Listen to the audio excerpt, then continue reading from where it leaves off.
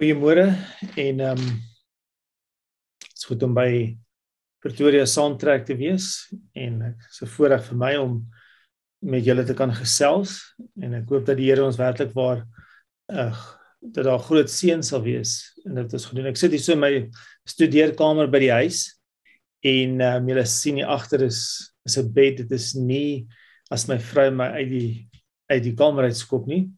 Nee, is maar net 'n spaarbed in ons huis. So ehm um, ja, vandag eintlik vanoggend wil ons graag net 'n bietjie gesels oor die tyd waarin ons lewe en en die titel van ons boodskap vanoggend gaan oor het jy my Jesus al geproe? Het jy my Jesus al geproe?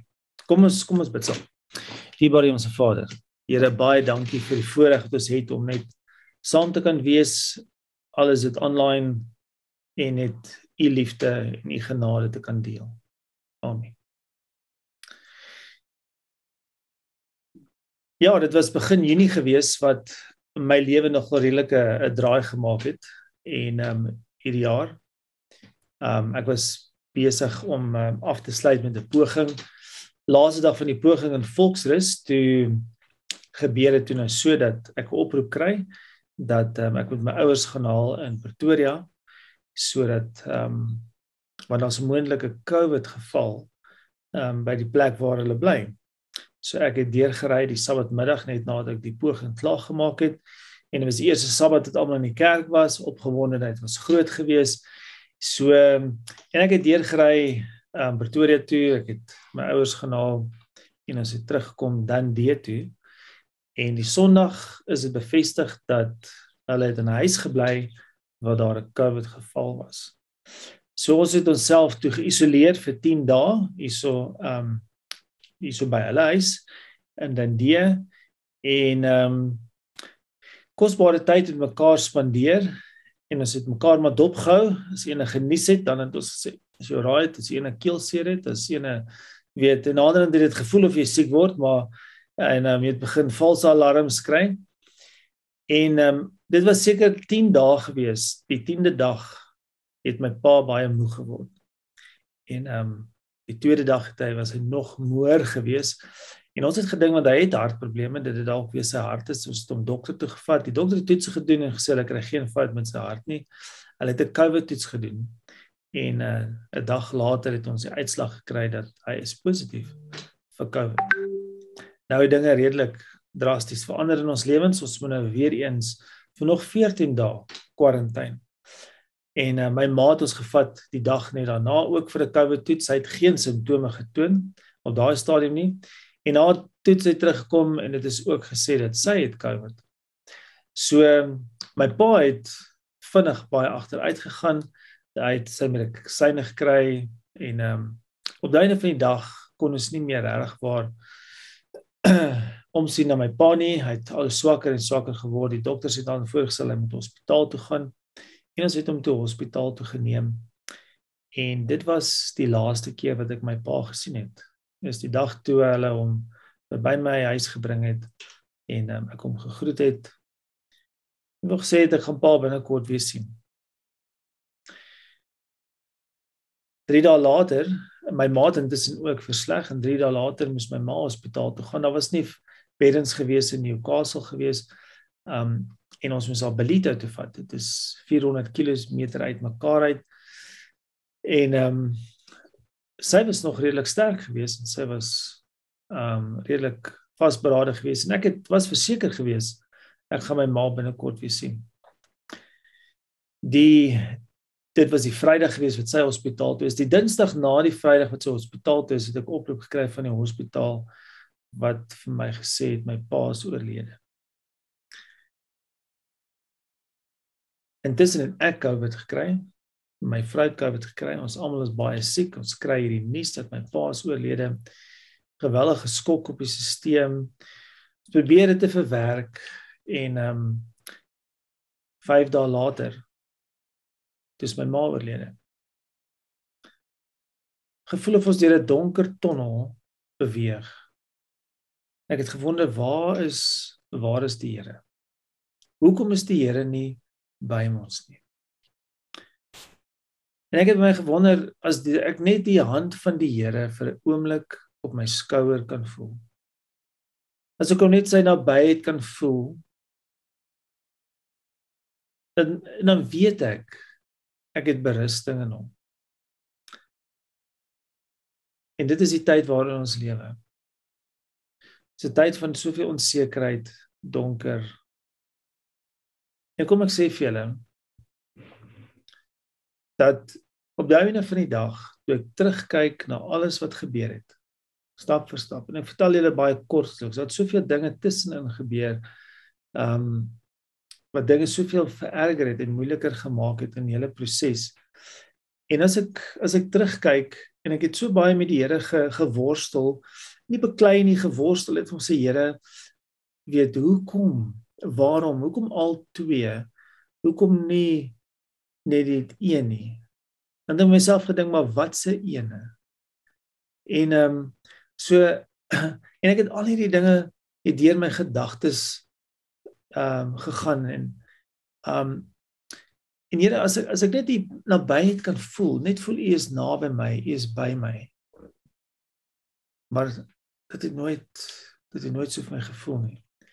En eendag toe alles begin rustig geraak en ehm um, en ek het begin terugdink aan alles en terwyl ek dink het ek met die Here gesels, ek het die Here gevra, Here, hoekom was U nie daar nie? Hoekom was U nie daar nie? Hoekom het ek nie gevoel dat U daar was nie? En jy weet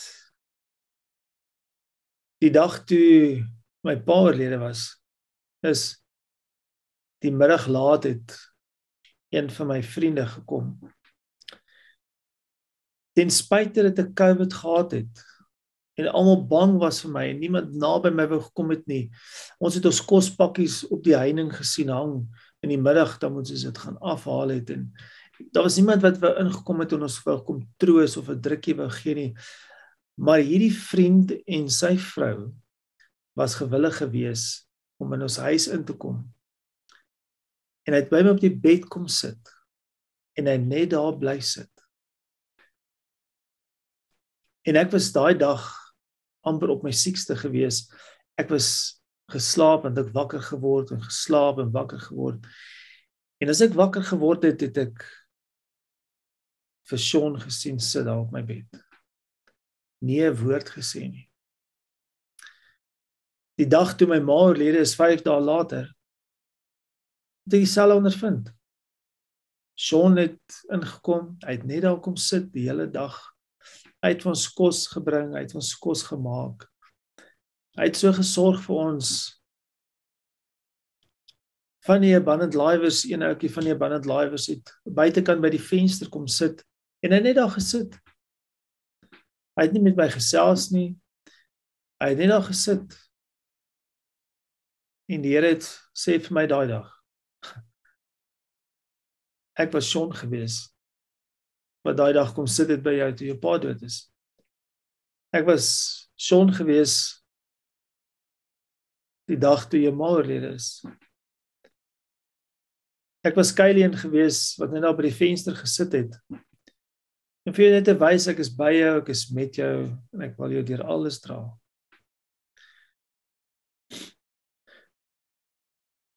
Die Here sê vir ons in uh, Jesaja 41 vers 10 sê hy wees nie bevrees nie want ek is met jou. Kyk nie angstig rond nie want ek is jou God. Ek versterk jou. Ook help ek jou ook ondersteun ek jou met my reddende regterhand. Is dit nie is dit nie fantasties om te weet dat die Here sê ons moet nie bang wees nie. Hy is hy is altyd by ons. Hy stuur mense in ons pad en ons plek om by ons te wees.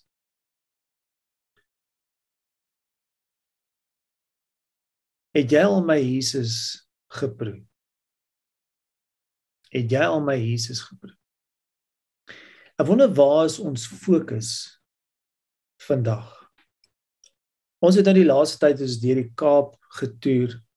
Ons het op uh, in Rietbron gestop. Nou Rietbron as julle nie weet nie is tussen Beaufort Wes en en Willemore, as jy so streep kan trek deur die klein Karoo, dan lê hy so in die middel van die twee. 'n 'n regte klein Karoo dorpie met twee strate en 'n groot NG Kerk. Nou 3 jaar gelede was ons vir die eerste keer in Rietbron gewees. Ons was 'n Bandit Live en ons het daarna 'n skool toe gegaan. Ons het gewerk in 'n skool. Nee, ons het eers na 'n gemeenskapsentrum toe gaan. Die jaar daarna toe kom ons by die skool uit en toe werk ons in die skool. En toe ons ehm um, ehm um, die tweede keer teruggaan, die derde jaar teruggaan na die na die skool toe om daar te gaan werk. Toe vra die onderwysers of ons al die NG predikant ontmoet het. Ehm um, nee, het ons gesê en hulle die hulle die predikant gebel en hy het gekom en hy het ons kom sien. En ons het lekker saam gesels met hom en hy het gesê is daar enige kans dat jy dalk kan terugkom na Rietbron toe en 'n week lank kom werk in hierdie skool en in ons gemeenskap. Ons het julle so so nodig. Die bediening wat julle doen is so uniek en ehm um, die kinders is regtig waar so ontvanklik en aanvanklik van van julle bediening wat julle doen. En ons het toe min of meer na 'n datum gekyk en ons het gesê goed, en dit was 'n maart maand gewees hierdie jaar en sê so goed, Augustus maand sal 'n goeie tyd wees vir ons om te kom. En ons het toe Augustus maand het ons weer teruggegaan na Rietbron toe vir 'n hele week wat ons daar gewerk het. En dit was dit was 'n uitsonderlike week. Want die week het begin deurdat hulle ons gevra het om die Sondag in die kerk op te tree in hulle kerk die erediens waar te neem in die NG Kerk die erediens waar te neem. En ehm um, hulle het ons 'n tema gegee en gesê die tema is luister na mekaar, luister na mekaar. So ons het 'n poppekas gedoen. Ons het begin met 'n poppekas vir die kinders om te sê onthou om te luister na mamma en pappa, weet en na die juffrouens en na almal weet. En toe het ons 'n uh, 'n voordrag gedoen wat ons gesê het Hoe luister ons vandag en luister ons regtig na mekaar soos dit ons moet luister? En toe het ons 'n praatjie gedoen oor dit is tyd in die tyd waarin ons lewe in die groot stryd waar ons lewe tussen goed en kwaad en ons het spesifiek 'n bietjie gefokus op Openbaring 12 is dit is ons jong mense vandag julle is in die grootste aanval wat daar sekerlik kan wees en is ons generasie, die ouer generasie bereid om te luister na die nood van ons jong mense daar buite. En hoe maak ons ons jong mense groot? En ehm um, en wat is die belangrikste deel van 'n jong mens se lewe? Wat wil jy graag? Wat is jou grootste begeerte vir jou kind vandag? En dit is om jou kind eendag in die koninkryk van God te sien. Wat is jou grootste vrees vir jou kind vandag? En dit is dat jou kind eendag dalk nie in die hemel sal wees nie. En na die diens wat 'n slag gemaak het, kom die predikant na my toe en sê vir my, "Sjoe, know. Ek wil graag hê julle moet hierdie diens weer vir my doen, maar ek wil hom graag opneem." En elke oggend het ons 'n segment gedoen van die preek, alhoewel ons 'n bietjie afgewyk het want hy het klomp ander vrae begin vra en um, ons het begin interessante dinge begin bespreek en elke oggend het ons 'n stukkie opgeneem. Ehm um, en ons het op die einde van die dag gesit elke dag uitgestuur na die gemeente toe op 'n WhatsApp groepie. En so het ons daai week die NG Kerk bedien.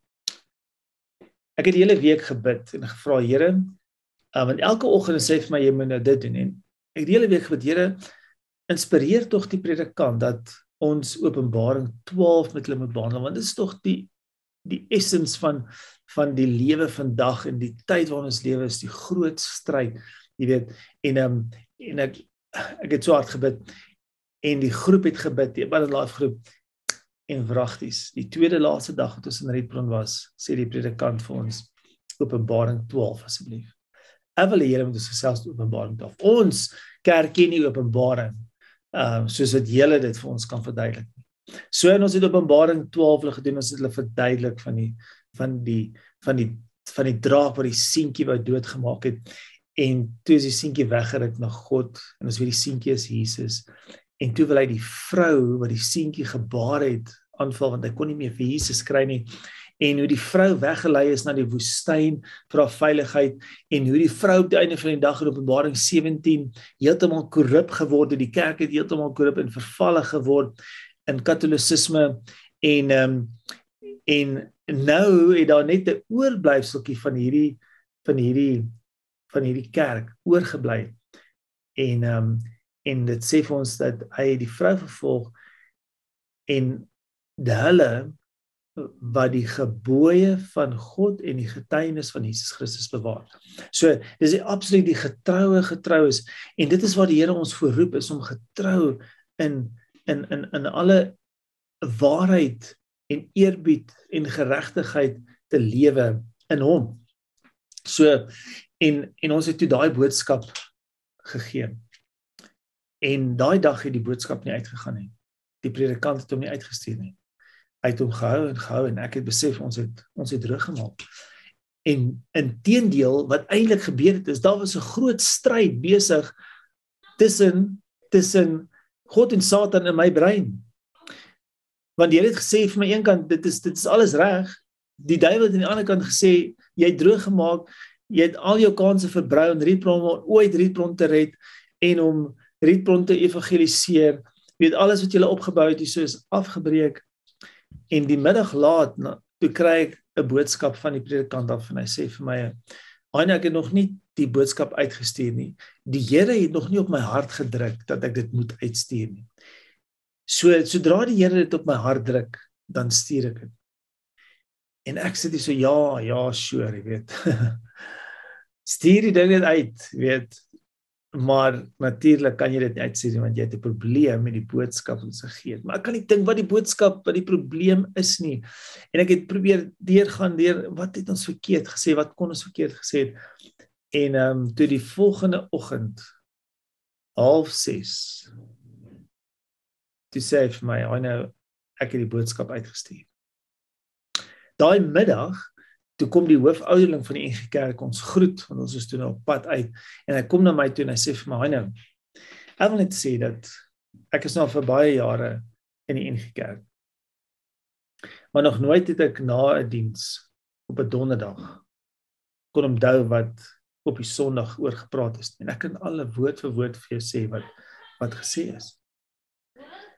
Hy sê vanoggend toe was ek ehm was ek ehm um, besig geweest om die biltong op te hang in die in my in my in my kamer in my droogkamer en toe het ek ehm um, my WhatsApp afgegaan. Hy sê en en toe sit van die dominee wat vir ons 'n boodskap stuur oor Openbaring 12. Hy sê nog nooit in my lewe het ek die boek Openbaring eers probeer lees nie. Ek sien nie kans vir al die simbole, die drake en die diere en die en en die vrouens en al die goeders wat daarin is nie. Hy sê en hier kom julle en julle bring dit so pragtig en mooi en duidelik na ons toe. En daar besef ek dat die Here is in beheer. Die Here is altyd daar. Die Here is daar met sy reddende regterhand om dinge te bestuur en sy evangelie, sy verlossingsboodskap uit te dra op sy manier. Nie op ons manier nie, op sy manier. Wat 'n fantastiese tyd het ons in Rietbron gehad nie om uit te reik en en mense se lewens aan te raak met kinders te werk vir 'n hele week lank in die skool en Jesus se verlossing vir hulle te gee. En hier kom ons by verskeie plekke aan verskeie dorpe, verskeie gemeentes en ons sien dat alles draai om die COVID. Dit is COVID op COVID. Dit is inenting of nie inenting. Komitees word gestig. Vergaderings word gehou. Evangelisasiewerk is baie min. En ek raak en ek raak hier binne in my bekommerd oor die situasie waarin ons kerk is vandag. Die COVID het het die kerk begin so beperk en mense het hulle self so beperk dat die werk van die Here nie meer kan vooruitgaan nie. Daar's soos in Rietbron, die mense is so ontvanklik. Hulle wil so graag meer en meer hê. Ons stop in Styterwil. Daar ontmoet ons mense wat die wat die ehm um, die groot stryd deurgelees het. Hulle soek nog Ons kon vir hulle nog gegee het. Die mense is honger daar buitekant. Hulle soek verlossing in Jesus in hierdie tyd wat ons lewe en ons kerk is amper nie bereid om dit te doen nie. Ons kerk beklei so oor oor inenting en nie inenting en wat is belangrik en wat is nie belangrik nie. Ons kerk beklei oor COVID, wat mag ons doen en nie mag doen nie, of ons masker en nie masker en al hierdie dinge werk teen mekaar. En nie net dit nie, elkeen sit nog met sy eie uitdagings wat hy het. Elkeen verloor van sy familielede, gaan deur donker tydperke en die duiwel is besig om oogklappe op ons te sit sodat ons nie kan besef wat se nood werklik waar daar buite kan is en die werk wat ons moet doen nie. Here sê ek is met jou. Ek wil jou dra, ek wil jou help, ek wil jou lei. Ek is die reddende regterhand wat jou wil help en red deur hierdie tyd. Die evangelie van Jesus Christus, die verlossingsboodskap is deur al die eeue van Genesis 3 vers 15 af, die eerste eerste profesie wat ooit gegee is in die Bybel. Reg deur die Bybel het die Here dit voorgehou as die belangrikste fokuspunt in ons lewens om vir die wêreld te gee dat Jesus is ons verlosser. Hy sal die slang se kop vermorsel. Waar is ons fokuspunt op die huidige oomblik? Waar is ons fokuspunt? Ja, ek was in Amerika gewees 'n hele paar jaar gelede en ek het daar gaan vir opleiding en elke Vrydag het hulle ons gevat vir 'n spanbou opleiding. En elke week as ek daar kom, dan stap ek verby hierdie lang telefoonpale, weet wat in die grond geplant is. Nie dat dit dat enige telefoonlyne op is nie, maar dit was lang telefoonpale gewees. En dan kyk ek hierdie hierdie telefoonpale so en dan sien ek maar dit is deel van spanbou en dan sê ek dankie liewe Jesus dat ons nie hierdie telefoonpaal spanbou ding doen nie. En die laaste Vrydag wat ek so toe gegaan het, Raai wat? Dit moet as jy spanbou doen van die telefoonpale. Nou hoe die spanbou werk is dat ehm um, jy het daar sulke sulke spikes aan die kante wat nou die trappies uitmaak. So langs die paal moet jy nou moet jy nou opklim en dan as jy nou bo kom by jou hande gelyk met die paal kom, dan natuurlik dan moet jy nou hoor gaan met ander woorde jou hande en jou voete kom al hoe nader en jou balans raak al hoe minder op hierdie spikes waarop jy klim en dan moet jy op die einde van die dag dit reg kry om beide voete bo op die paal te kan sit sodat jy so kan staan en dan moet jy van die paal af spring en dan moet jy 'n trapesium so driehoek wat so in die lug hang aan 'n kabel moet jy aan hom moet jy hom gryp en dan bring hulle jou af. Ehm um, natuurlik die ou het 'n grap gemaak maar ons het dit vir eers nogal redelik ernstig opgeneem en hy het gesê weet julle dat daar's nog net een ou wat daai trapesium gevang het van van dit ons hierdie um, span by item doen.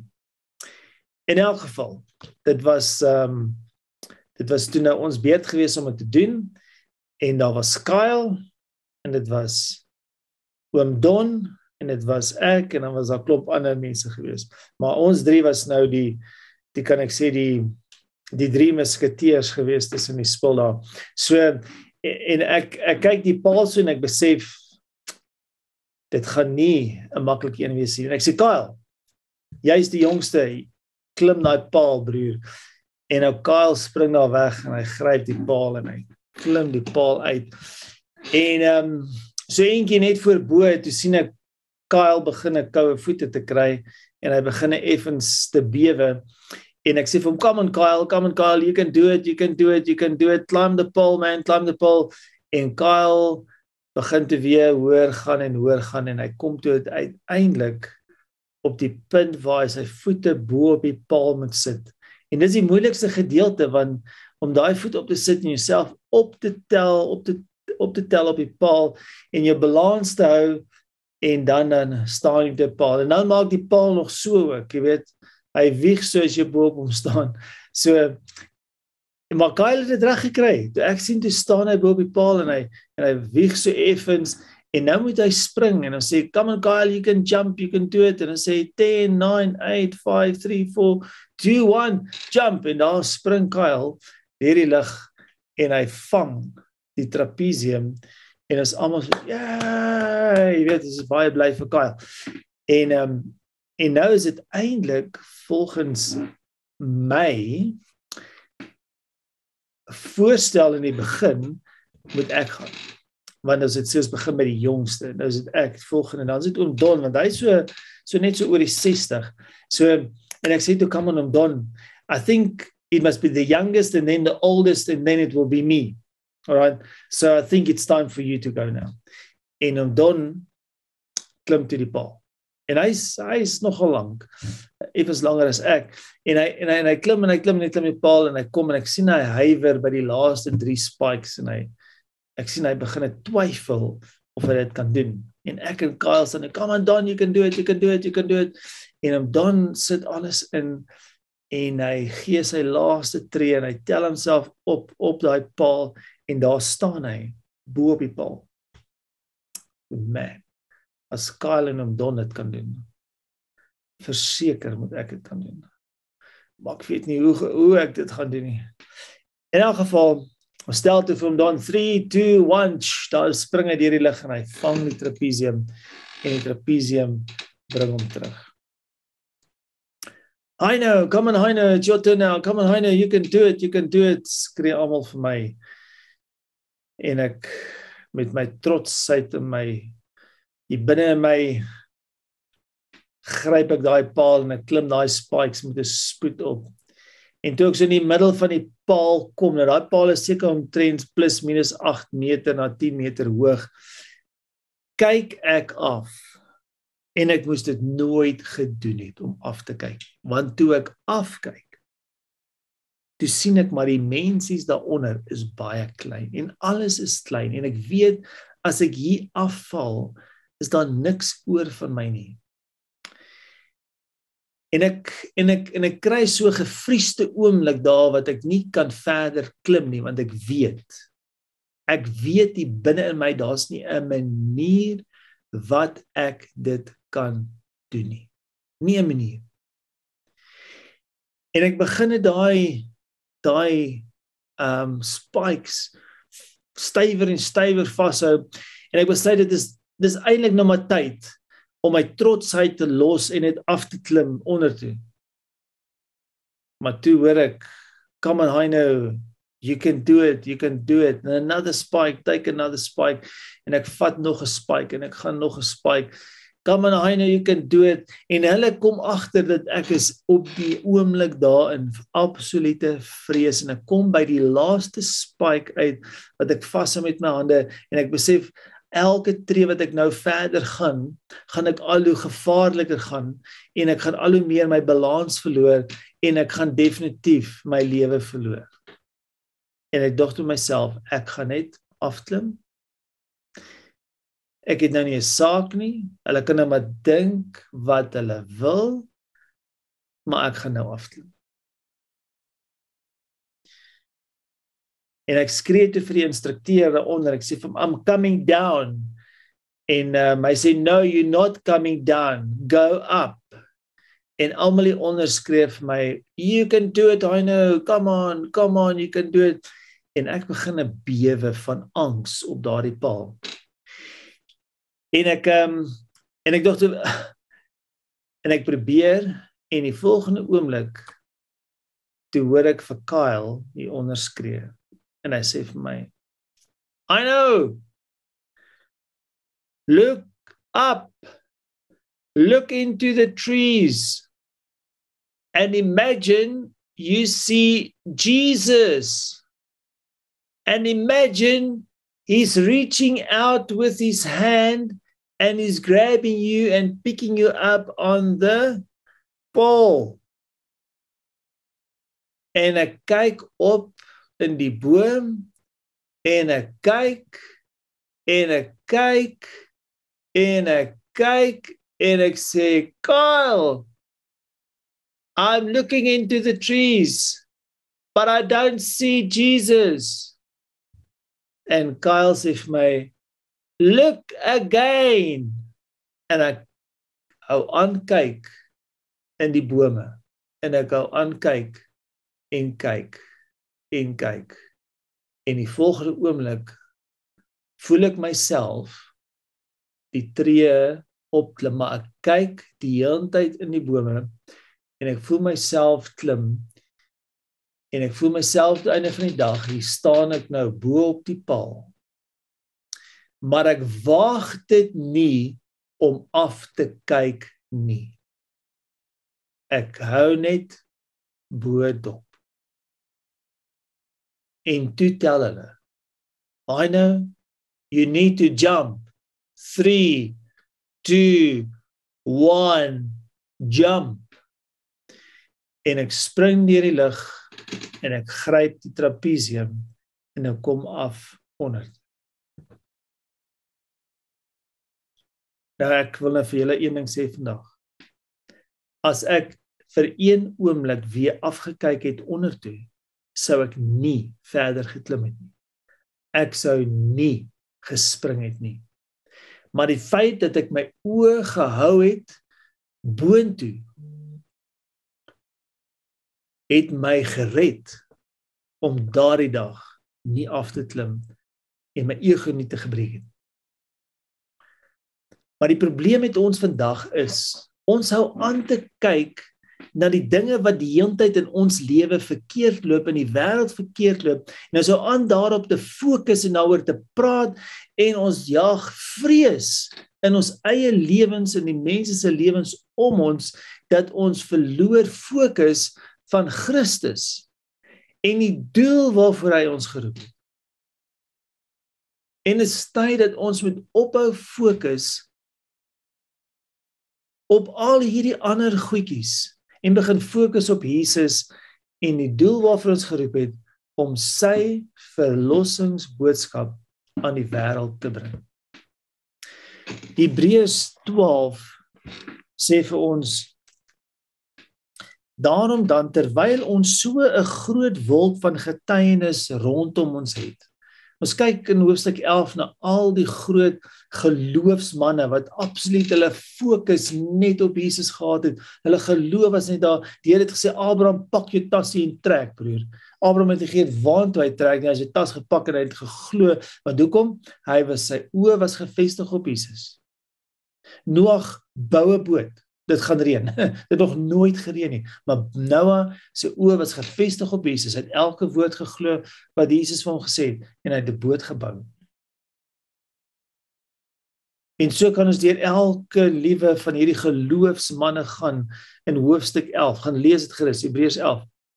En nou sê hy vir ons in vers 1: Daarom dan terwyl ons hierdie groot wolk van geloofsmanne, heroes van die Bybel van geloof om ons het en um, en ons kyk na hoe hulle dinge hanteer het en hoe hulle gefokus het op Jesus, laat ons ook elkeen so ons laste aflê en nie altyd afkyk en ons laste kyk en op ons laste fokus nie maar die Here sê fokus op my dan het jy geweet ek sit by jou terwyl jy treur oor jou ma en jou pa. Dan het jy geweet ek sit buite kan die venster en ek is daar vir jou. Ek sou jou nooit verlaat nie. Dan het jy al hierdie dinge geweet en jy sou nooit getwyfel het dat ek nie daar is nie En dan gaan hy sê met die volharding, met die wedloop loop wat voor ons lê. Hy sê vers 2 die oog gefestig op Jesus. Dis waar die godsmanne was, die geloofsmanne was. Hulle oë gefestig op Jesus, die leidsman, die volëinder van die geloof. My liewe jong mense. Ons kan net in hierdie tyd waarin ons lewe fokus op Jesus. Die duiwel wil so graag ons fokus wegvat na allerlei ander dinge toe. En hy wil vrees in ons injaag.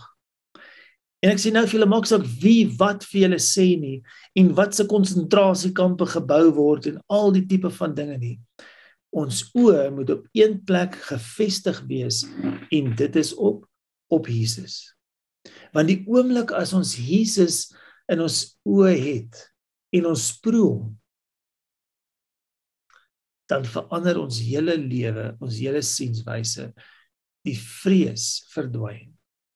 En ons ervaar Jesus hier by ons sit. En ons gaan begin om dit wat Jesus vir ons gee uit te leef en soveel mense se lewens aan te raak wat honger is, wat soekend is na Jesus. Daar was 'n professor gewees wat 'n toespraak gegee het oor dat God nie bestaan nie. Jesus het nie bestaan nie. En dit was 'n groot auditorium gewees met baie mense en hy daai aand het hy 'n toespraak gegee en die mense oortuig dat Jesus nie bestaan nie. Ja, het hy gesê die kantige wonderwerke wat plaasgevind het in veral in die Ou Testament was alles net valse aannames wat gemaak is. Die rooi water, ag die die water wat in bloed verander het, is die rooi grond wat uit die berg uitgespoel het wanneer dit verskriklik baie gereën en dis hoekom al die riviere en die damme rooi was. En omdat dit baie gereën het, het daar 'n muskietplaag uitgebreek en omdat die muskietplaag uitgebreek het, het ehm um, die paddas uitgekom en daar het 'n paddaplaag uitgebreek. En omdat die paddas almal gevrek het, het daar 'n pes uitgebreek en dis kom die beeste gevrek het, die vee gevrek het. En so het hy aangegaan en aangegaan en elke wonderwerk probeer tot nul maak.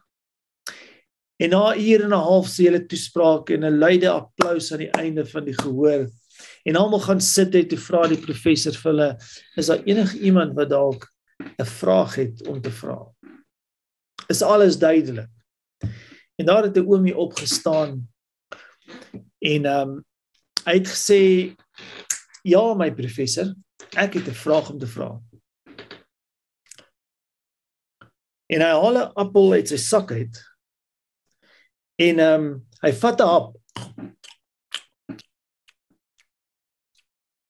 Hy sê professor, jy het gesê dit het so baie gereën dat die rooi grond uit die berg uit gespoel het en die damme en die riviere alles rooi gemaak het. En so het hy aangegaan. En hy het punt vir punt die muskiete, die paddas, die pes en alles het hy oor en oor herhaal en die vraag gesê u dit gesê u het dit gesê u dit gesê het hy hierdie appel geëet totdat die appel op was en net die stronk oorgebly het. En hy haal 'n sakkie uit sy sak uit en hy sit die stronk daarin. En hy, my professor wat ek vandag vir jou wil vra is was hierdie appel soet of was hy suur geweest? En die professor kyk die oomie so aan en hy smile en hy sê my my liewe oom ek het nie daai appel geproe nie. So ek kan nie vir jou sê of hy soet of suur was. En die oom sê vir hom Dis presies wat ek vir jou wil sê professor. Jy het nog nie my Jesus geproe nie.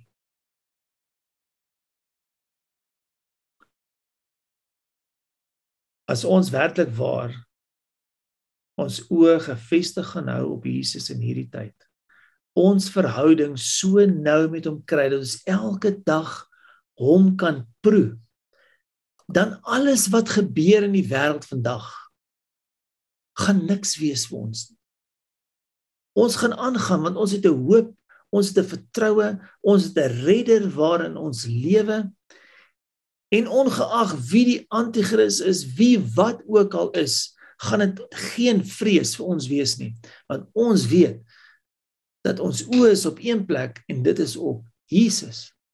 En as ons hom elke dag gaan proe, dan gaan niks ons wegvat van ons Jesus af. My liewe, my liewe jong mense. In hierdie tyd waarin ons lewe, is 'n tyd wat ons moet werklik waar moet belê in ons tyd om te spandeer met Jesus. Elke dag moet ons die woord van die Here vat en hom lees en lees om al is dit net 5 minute en dan 10 minute dit gaan groei en groei en groei want ons wil Jesus proe in hierdie tyd want hy is die een wat vir ons die hoop die vertroue en alles gaan gee wat ons nodig het. Psalm 23 sê Die Here is my herder en niks sal my ontbreek nie. Die Here is my herder, niks sal my ontbreek nie. Niks sal my ooit ontbreek, niks sal my kort kom in die tyd waardeur ek gaan nie. Kom ons hou ons oë gefestig op Jesus. Kom ons proe hom elke liewe dag.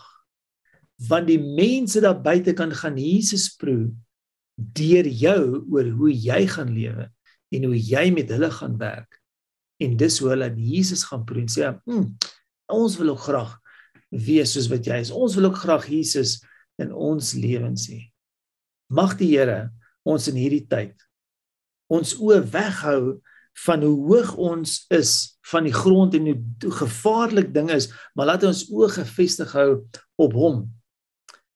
Sodat ons elke dag verlossing in hom kan hê en hom kan smaak en ervaar in ons lewens. Kom ons bid saam.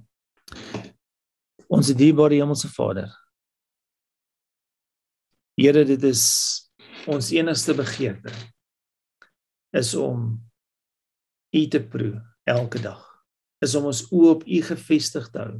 Here, die wêreld daar buitekant is honger en hulle is dors vir die lewende water, vir die lewende brood. En ek bid Here dat U ons sal gebruik en dat U ons fokus sal reghou in hierdie tye waarin ons lewe. Dit word so maklik weggevat asseblief Here. Here, daar's 'n weermag van jong mense daar buitekant. Here wat U nodig het Here wat gereed is om u werk te gaan doen. Asseblief, Here, werk in hulle harte. Lei hulle op, Here, om u werk te kan doen. Seën ons, Here, in 'n baie spesiale manier en um, ons vra Here dat u elke dag die verlossing in ons lewens sal verseker. Ons bid dit in die liefdevolle en die dierbare naam. Amen. Baie dankie en um, ons sien julle met die eredienstyd. En dan gaan ons um, ook twee wonderlike verhale met met julle deel uit ehm um, uit Abundant Life se werk wat hulle gedoen het en hoe die Here hulle gelei het. En ons gaan ook kyk na Johannes 9, die man wat blind gebore is. Mag die Here julle seën.